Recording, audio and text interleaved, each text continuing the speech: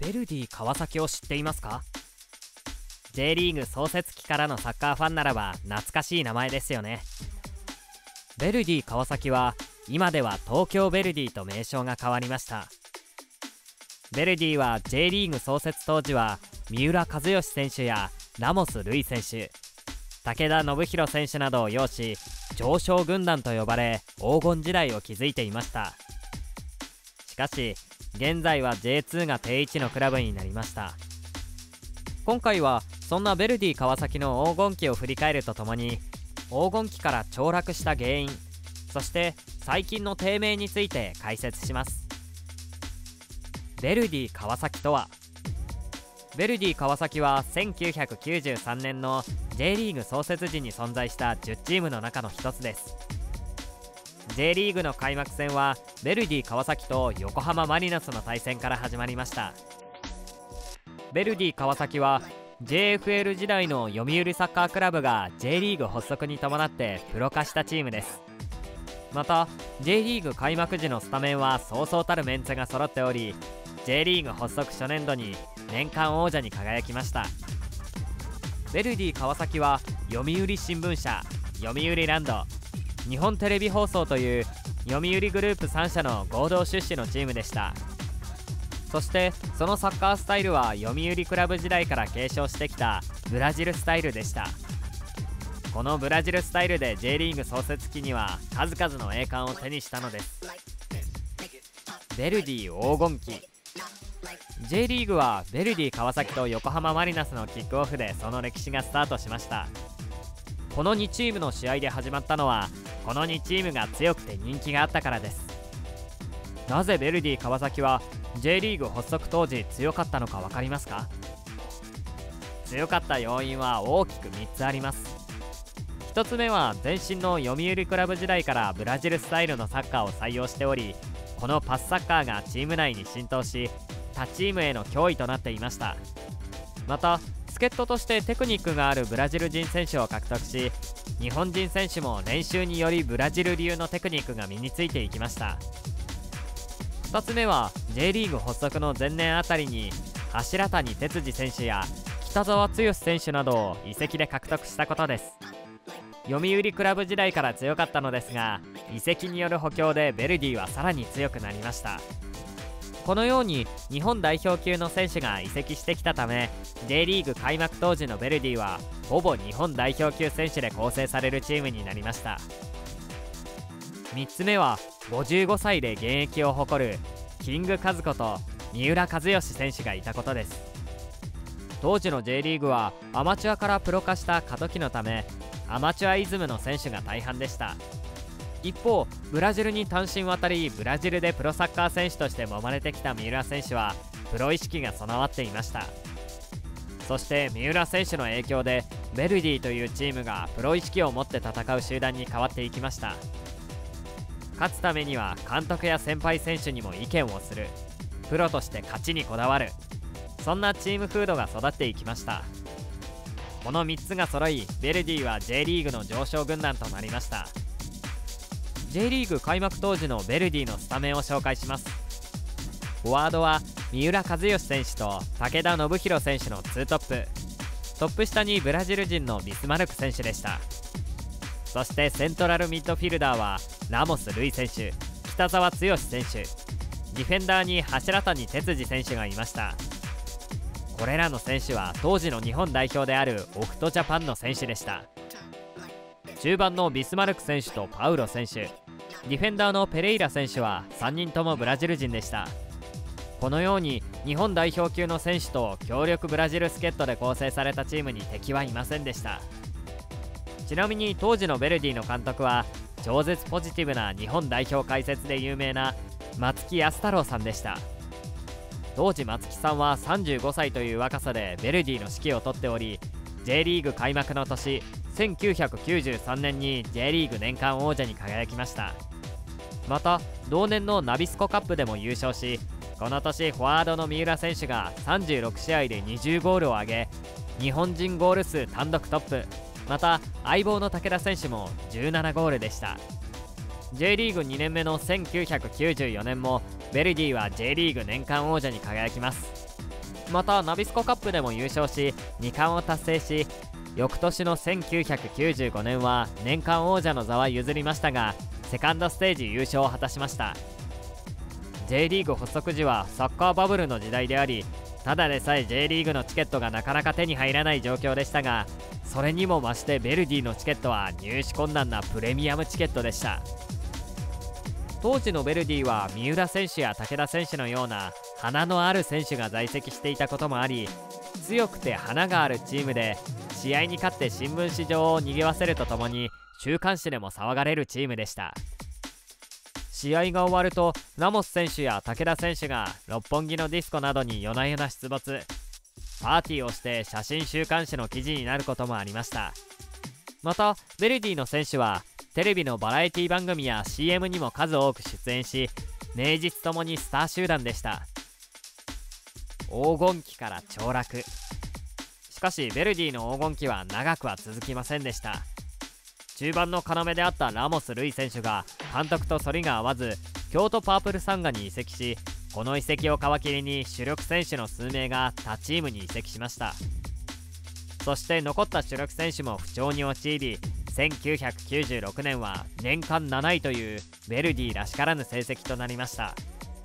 そして翌年の1997年は年間15位という初の2桁台の成績となりました。もともと J リーグの中で突出した強さで人気を博していたベルディは成績の下降と比例して観客動員数も少なくなっていきました。フロント方針からスター選手や有力助っ人を多額のお金で買い取ってきたベルディでしたが観客動員数が少なくなると次第に経営が行き詰まっていきます。そして1996年あたりから年間20億円以上もの赤字が生まれていきました。しかしこのお金をベルディではなく親会社が補填するシステムでした。その後ベルディの計上する赤字に限界を感じ読売新聞社と読売ランドが1998年にベルディの経営から撤退しました。このように金銭的なバックアップがなくなってしまったベルディは高額年俸の選手を維持するのが困難になっていきその後ついに三浦選手をはじめとするスター選手の放出を余儀なくされました。そしてベルディは負のスパイラルに突入してしまいます。主力のスター選手がいなくなり成績も悪いため観客動員が少なくなります。すると収益が悪くなるためにいい助っ人や補強ができなくなります。試合に勝てないと観客は増えない。観客が増えないため資金がなく補強ができない。またベルディの観客動員が増えないのは地域に根ざしていなかったことも原因の一つです。J リーグの理念の中に地域密着があります。よってベルディ川崎というようにベルディは川崎に根ざすべきですが根ざした活動をほとんどしていませんでした。もし地域に根ざしていれば負けていてもサポーターは応援してくれたのかもしれません。かしベルディは地域密着というよりはスター選手と強さで観客を動員してきました。そのためスター選手がいなくなり弱くなったベルディは観客動員が見込めなくなっていました。もう等々力陸上競技場での観客の減少に歯止めがかからない状態になっていました。そして1999年ベルディはホームタウンを川崎から東京に移転する案を公表し東京で集客しようとしたのです。これには J リーグも安定経営をするためなら移転も仕方がないと認めました。よって2001年にホームタウンを東京都に移転しました。しかし東京には FC 東京という地域密着型の J リーグクラブがすでにあったためヴェルディは東京に移転した後も観客動員に悩まされ続けました。その後も成績や観客動員に悩まされ続け2005年には初の J2 降格の浮き目を見ることになりました。そして2006年にはクラブのレジェンドであるラモス・ルイが監督となり奮闘しましたが J1 に返り咲くことはありませんでした。ヴェルディ低迷期。2007年続投を任されたラモス体制のもと元日本代表の名波浩選手や服部俊弘選手を獲得。J2 でなんとか2位に食い込み念願の J1 への復帰を果たしました。そして2008年はラモス体制でコーチを務めていた柱谷哲司が監督に就任。そして元日本代表の福西隆選手土井陽一選手などを獲得。外国人選手も良い補強をしました。2008年シーズンはブラジル人の復帰選手の活躍でなんとかこらえていましたが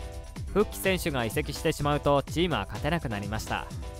そしてシーズン終盤には得点力不足と試合終了間際の失点に悩まされその後気づくと J1 残留争いをしていました。迎えた最終節16位のベルディは川崎フロンターレとの大一番でしたがこの試合に敗れ最終順位が17位となり J2 自動降格が決定しました。J1 の舞台はたった1年で幕を閉じましたがベルディはなくなりません。柱谷監督の声が虚しく響きました。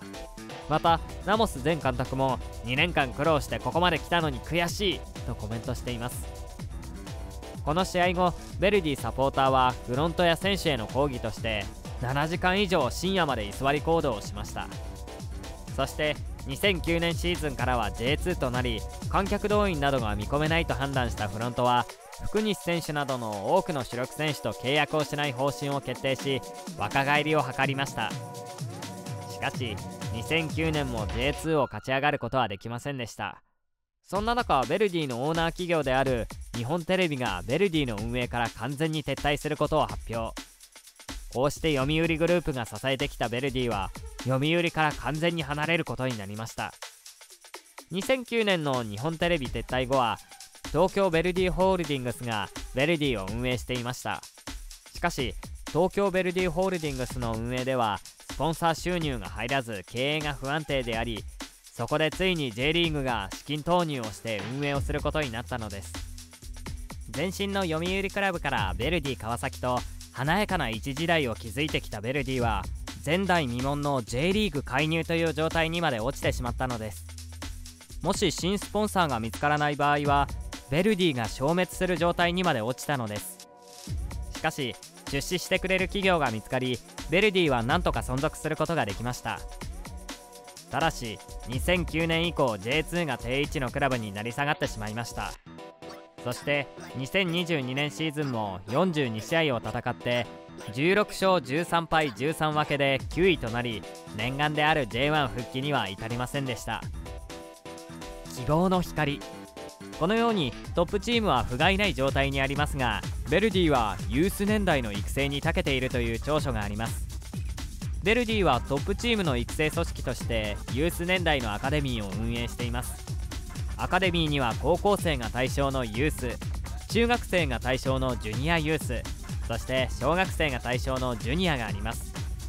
ヴェルディのアカデミーはどのカテゴリーでも素晴らしい成績を残しています。例えばユースチームの主要タイトル獲得数は21でありこれは J リーグのユースチームの中で最多です。またジュニアユースチームもジュニアチームも J リーグの同年代のカテゴリーの中で最多となるタイトル獲得数を誇ります。このようにアンダーカテゴリーではダントツの成績を残しているのです。ベルディのアカデミーの育成システムは国内屈指の充実度なのです。元日本代表で現在はトルコのアンタルヤスポルでプレーする中島翔也選手はベルディのアカデミー出身です。また横浜 F・ マリノスの優勝に貢献した藤田ジョエル・チマ選手もベルディアカデミーです。このようにベルディの育成システムが日本を代表するような選手を今後も育てていくことに期待しましょう。そしてベルディ自身も自らのアカデミー出身の選手の力で J1 の舞台に戻ってくることを期待します。いかがだったでしょうか？今回はヴェルディ川崎黄金時代とその終焉についてまとめました。是非チャンネル登録と高評価をよろしくお願いします。次の動画でまたお会いしましょう。